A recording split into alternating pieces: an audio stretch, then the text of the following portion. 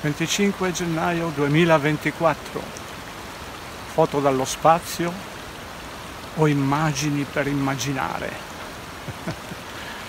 Nel frattempo che vedete questa bellissima immagine, sopra di me sta succedendo qualcos'altro, ma non solo sopra dove sono io, ma dove sta la maggioranza, la maggior parte delle persone che abitano sul meraviglioso, la meravigliosa regione italica. Il video che segue è un video che vado a sottotitolare, devo ancora farlo ma eh, ci penso. Già su indice alfabetico trovate parecchie cose sugli esopianeti, sotto vedrete vi metterò anche le voci da cercare sul fantastico indice alfabetico che ha superato le 3000 voci per chi vuole fare le ricerche su argomenti di cui non si può parlare, o meglio si può parlare ma non vogliono che se ne parli. Non sappiamo bene chi, non sappiamo bene cosa vogliono fare, ma l'unica cosa che continuerò a ripetere è credere è nemico di conoscere. La conoscete questa cosa da molto tempo.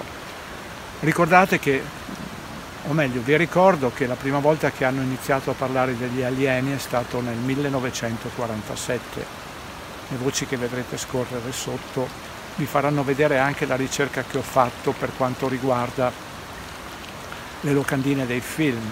Fino a prima del 1947, o meglio hanno iniziato dopo, nel 1950, a far vedere i primi film con gli alieni. Prima si parlava solo di gorilla, di uomo nello spazio, di robot, ma nulla di tutto questo che ha iniziato ad andare a scuola nel 1947, adesso ha 83 anni.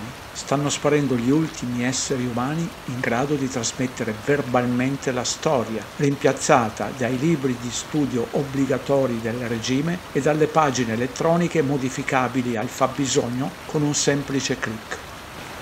Le rappresentazioni di alcuni quadri, dico anche quello che sono andato a visitare un po' di tempo fa, di Piero della Francesca al, a San Sepolcro non sono dischi volanti, sono nuvole. In quel periodo le nuvole le disegnavano così, non erano degli artisti capaci con le conoscenze che abbiamo oggi. Bene, gustatevi il video e ricordatevi cosa sta succedendo sopra le nostre teste, a dispetto di quelli che le negano, ma il cielo è così. Non è un cielo naturale, non sono nuvole naturali sono nuvole chimiche. Punto a capo. Giriamo pagina. Meantime, they are images that inspire, educate, and sometimes just make us say, wow. yeah. Over the years, NASA has given us spectacular photos and renderings that reveal a colorful and mysterious universe. No doubt. And now Chris Martinez is introducing us to two of the artists behind some of the most iconic space art in the galaxy.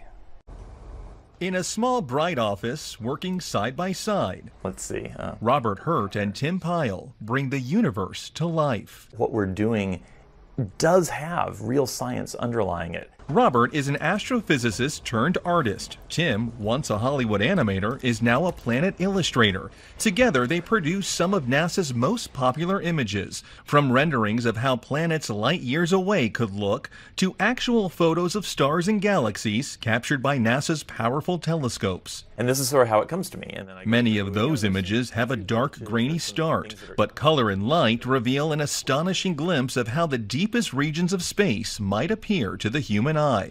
What I'm trying to do is show people sort of the, the broader colors that the universe has to offer. It's a delicate blend of imagination and data. The artists meet with NASA scientists over many drafts to ensure a planet or galaxy's look lines up with the research to make each one as accurate as possible.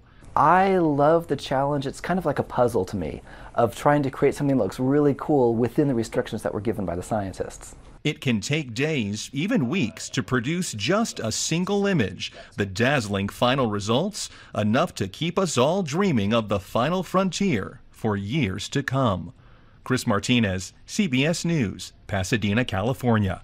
The artists also say they have to be especially careful when it comes to illustrations of other planets to avoid colors many of us would associate with Earth, like blue for water. Heart nebulas, celestial collisions, a bird's eye view of the Milky Way, astronomers are charting the outer reaches of the cosmos and bringing back jaw dropping images from telescopes like Hubble and its infrared cousin Spitzer. If you look down at the bottom of that Milky Way image, you'll see these two words artist concept. This sweeping image of the Orion Nebula actually looks like this. And the TRAPPIST-1 star system, the latest discovery of seven potentially habitable exoplanets that made national headlines, it's really only a box of gray and white pixels. You see, space art is part of NASA's most fascinating images. Most space imagery begins with data. Very, very complex data. And transforming these numbers and graphs into an image that captures the public's imagination requires a delicate balance between science and art. And that is where Robert comes in. As an astronomer and artist, Robert isn't editing images so much as he's making an artistic hypothesis grounded in facts, so we can visualize what's really happening up there. And Robert takes the scientific limitations seriously because the wrong color could be very misleading.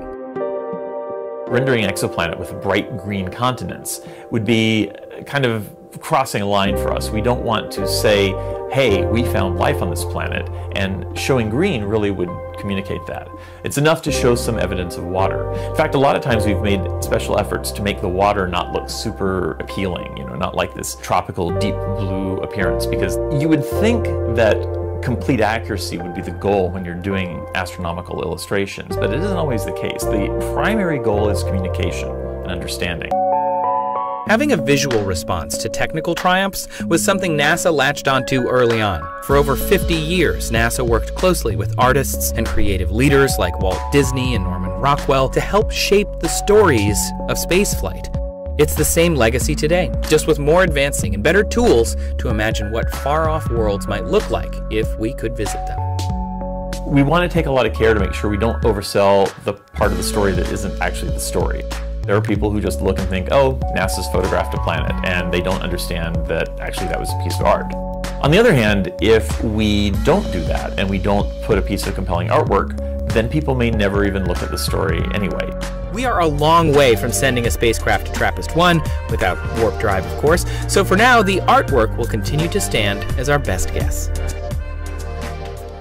Il primo canale YouTube Dino Tinelli ha cambiato veste e nome rinnovandosi in Canal 104 Il secondo canale è sempre e rimane sempre con lo stesso nome, Dino Tinelli. Per le vostre ricerche fate uso del prezioso indice alfabetico dal sito web www.tinelli.eu perché oltre ad essere costantemente aggiornato all'inizio della pagina suggerisco vecchi video che hanno sempre tematiche interessanti e altri video che per ovvie ragioni delle linee guida del regime non si possono pubblicare sui due canali che ho appena citato. Il libro Il risveglio è sempre in pronta consegna a colori solo nel formato ebook, mentre nella versione cartacea è in bianco e nero. Collaboro sempre con l'esclusivo Canal 104 Plus Telegram dove vi invito a prendere visione delle tematiche decisamente importanti e, ma solo se vi va, è gradito anche il semplice valore di una buona tazzina di caffè. Grazie di aver guardato e buone cose a tutti e tutte.